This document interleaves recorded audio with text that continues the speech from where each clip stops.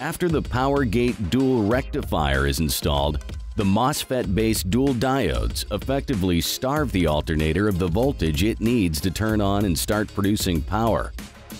To resolve this, Perfect Switch uses an alternator excitation circuit which is triggered by the starter motor. When engine cranking is complete, the alternator excitation circuit turns on. We momentarily turn off power blocking between the main battery and the upstream alternator. With battery voltage present, the alternator's regulator instantly excites, causing power generation. Power flows from the alternator through the dual rectifier to the downstream batteries.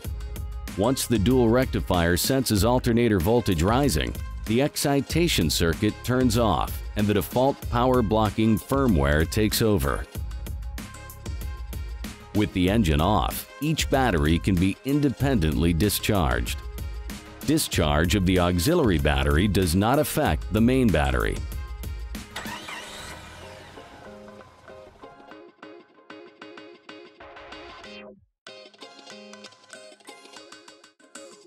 Main battery discharge does not affect the auxiliary battery.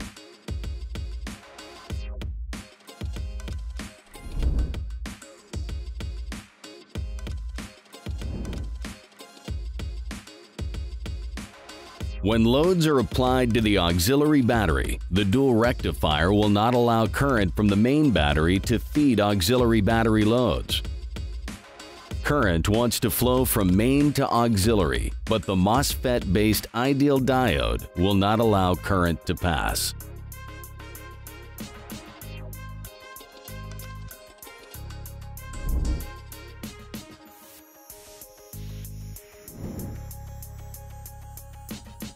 When loads are applied to the main battery, the dual rectifier will not allow current from the auxiliary battery to feed main battery loads. Again, the MOSFET-based ideal diode will not allow current to pass.